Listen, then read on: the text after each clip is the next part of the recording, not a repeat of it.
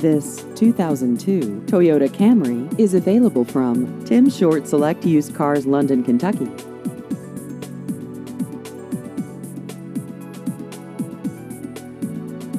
This vehicle has just over 146,000 miles.